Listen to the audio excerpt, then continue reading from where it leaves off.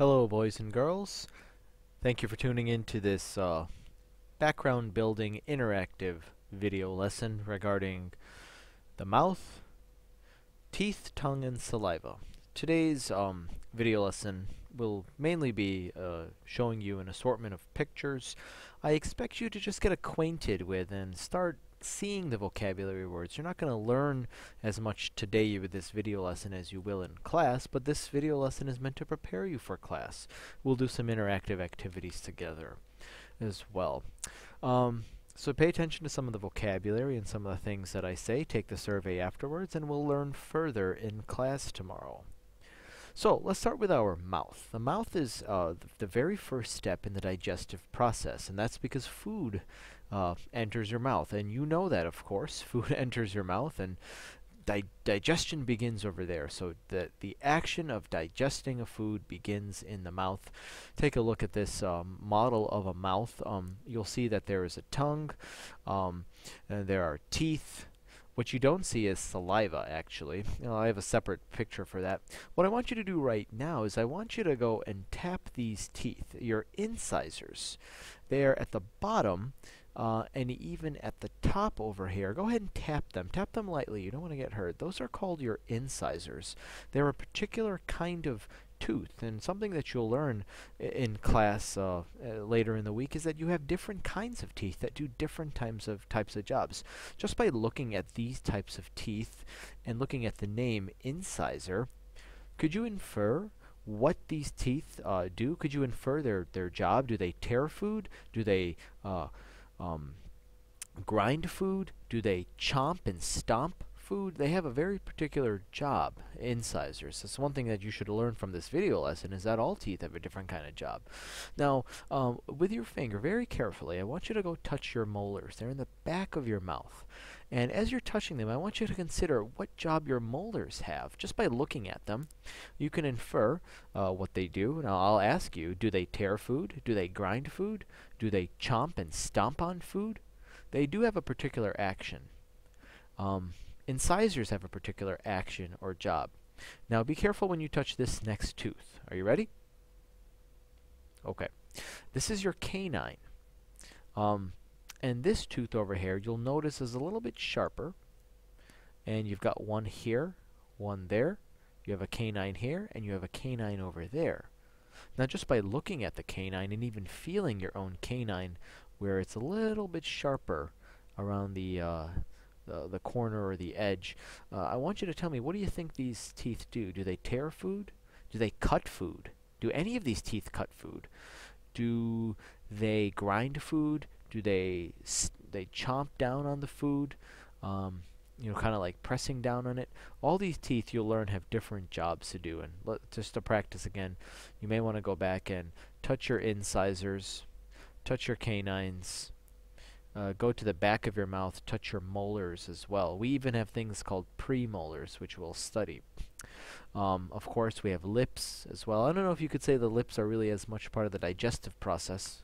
Uh, cer certainly, you could make a case for them being part of the digestive process. But food enters your mouth, and as soon as it hits your tongue, your your your teeth, your saliva, the digestive process has begun. Take a look at this uh, picture. This is a model of a tooth. Now, believe it or not, there's really only one or two parts of your tooth that you can touch. Can you touch um, maybe on your lower teeth, because this would be the gum on your lower teeth? Can you touch the crown of any lower tooth you have? Go ahead and touch the crown of a tooth. It's the top of a tooth. Go ahead and touch that crown. Okay. Now what I want you to do, maybe with your uh, incisors, if you know where those are, or your, your, your teeth in the front of your mouth, try to touch the enamel and try to gently tap it with your nail. See if you can touch the crown and the enamel.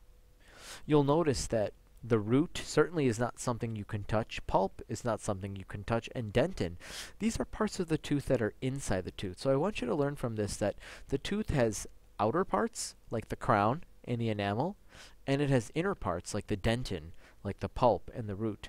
Doesn't dentin sound like dentist? I'm sure you don't want to touch your pulp or your root or your dentin. Um, I'm sure you're just comfortable touching the crown of your tooth and then the enamel of your tooth. The enamel is that outer layer of the tooth. You might even take what's called a water pick. It's a tool the dentists use to scrape plaque off, and you make it, I mean, you may be able to scrap or uh, scrape plaque off your enamel. If you want to take a fingernail, you may want to just uh, rub your fingernail against your enamel. It actually, if you tap your enamel, it's sensitive. It's very strong. You know, enamel is just as strong as bone. This this part, that outer layer of your tooth is just as strong as bone. Be careful when tapping it. It can be sensitive. So learn that uh, the, the tooth has parts on the inside, like the dentin, the pulp, and the root, and then on the outside, like the crown and the enamel. Let's scroll down to another picture. Uh, I bet you didn't know where your salivary glands are. Salivary glands. You might notice the word saliva in the word salivary glands. Well, saliva comes from salivary glands. What I want you to do right now is, if you, well, if you'd like, try to create some spit. Consciously, actually make the effort of creating spit. Did you know you're creating spit from these glands here? These glands uh, are where saliva is located. A gland is a part of the body, um, and um, we have one in our brain called the pituitary gland, and we've got um, other glands throughout our body.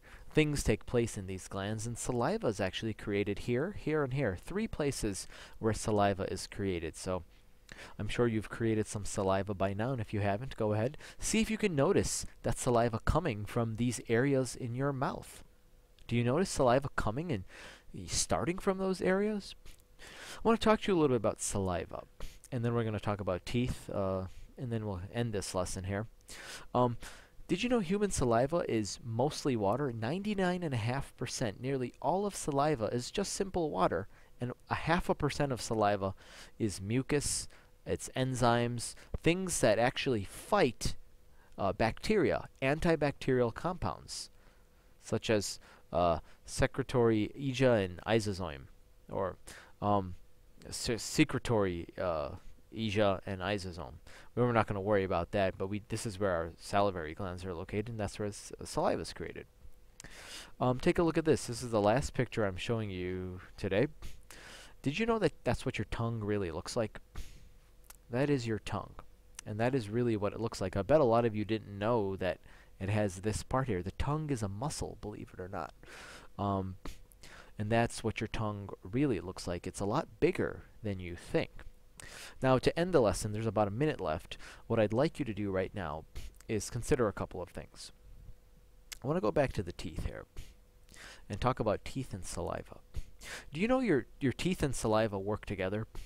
Your teeth, uh, they do what's called mechanical digestion. Mechanical digestion, think about the word mechanic or mechanical. Mechanical involves moving. Uh, it, it, involves uh, movement. Um, it, it, might involve some manipulation through pushing, through force. And your teeth, whether they're incisors that tear, or they're molars that chomp, or they're canines that rip, what they're doing is a mechanical digestive action. However, saliva is doing what's called a chemical digestive action. Saliva actually dissolves food. You may uh, notice this. Uh, you may want to try this after the video. Take a bit of a cracker, bite into it just a little bit, and let it sit on your tongue and allow the saliva to slowly start dissolving it. You can even try putting a little bit of a cracker that you've been into um, into like a plate of saliva, your own saliva, and watch to see if it actually becomes softer and more mushier. Saliva digests food because it chemically dissolves food. However, teeth digest food because they mechanically break and chomp and tear and move the food. The tongue, speaking of movement, is responsible for moving the food to the back of your mouth. Next time you eat, monitor to see if your tongue is moving the food to the back of your mouth. That's it for our lesson today. Take the survey, and I'll see you in class. We'll study more of this on Tuesday and Wednesday. Thanks a lot. Bye.